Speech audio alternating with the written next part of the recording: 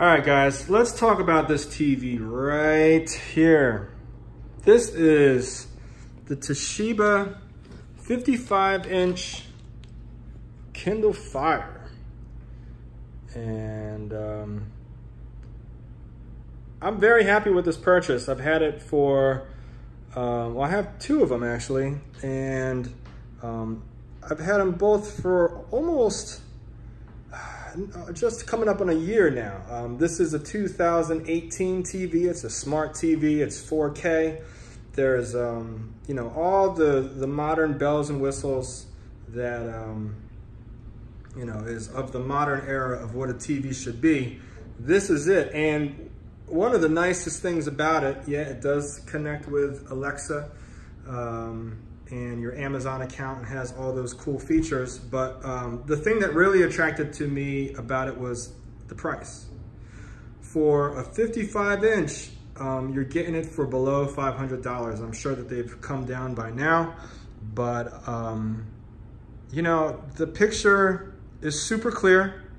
Like I said, it's 4K. Um, it is quite uh, light let's take a look at exactly, um, yeah, I mean, it's, I, I took it out of the box all by myself.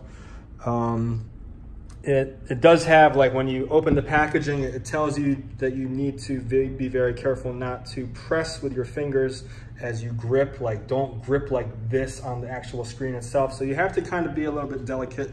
It would be better if you had two people to get it out of the box, but like I said, it is possible to do it uh, if you're in a pinch uh, and you got it and you're at home by yourself and you wanna get it out the box and uh, up and running. Uh, I did it all by myself.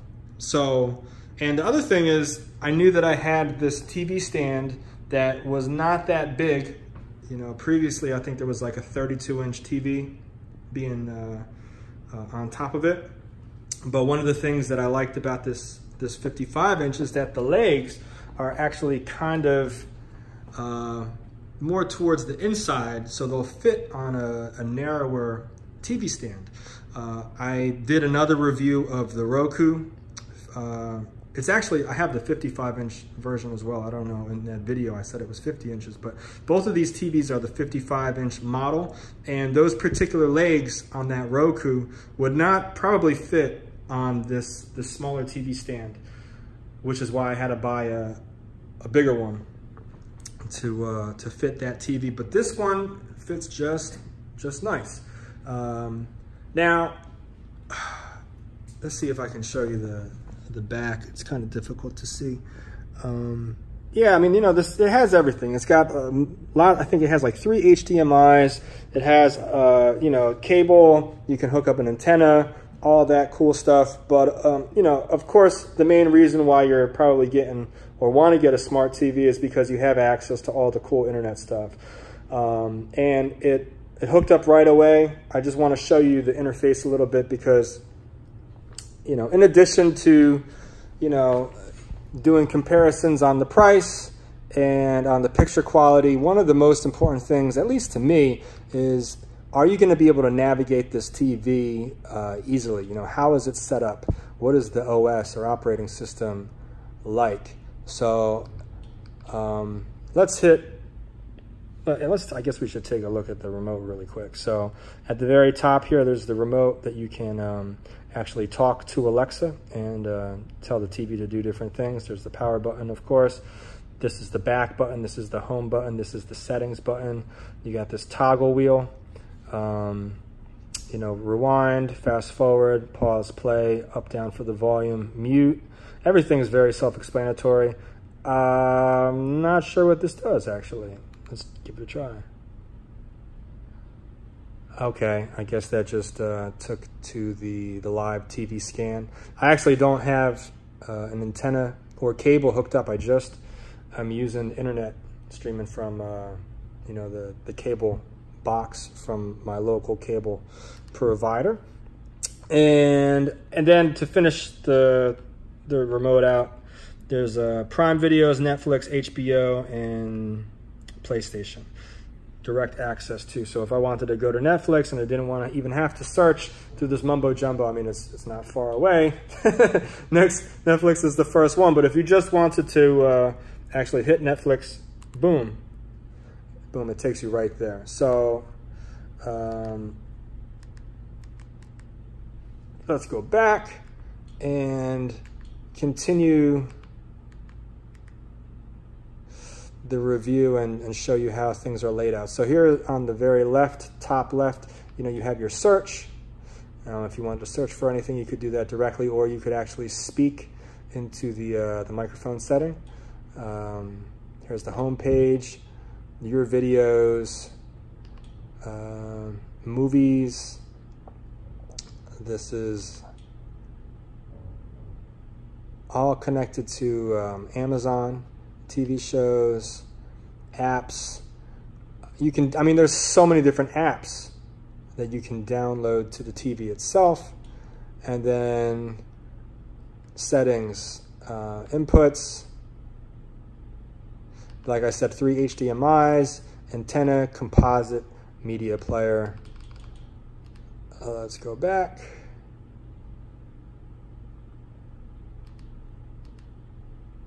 Uh, notifications, air receiver inputs, those options. Network, you know, you connects really easily to Wi-Fi. I'm not going to do that. Display and sounds. Let's take a, a look. Picture settings, sound set settings, audio output. I guess if you want to hook up uh, external speakers.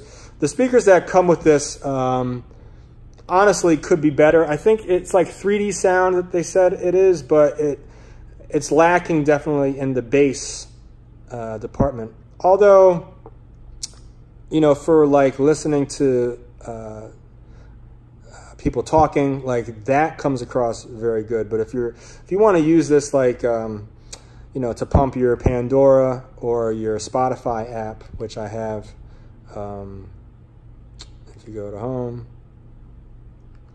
just scroll down. Amazon Music, you can do that.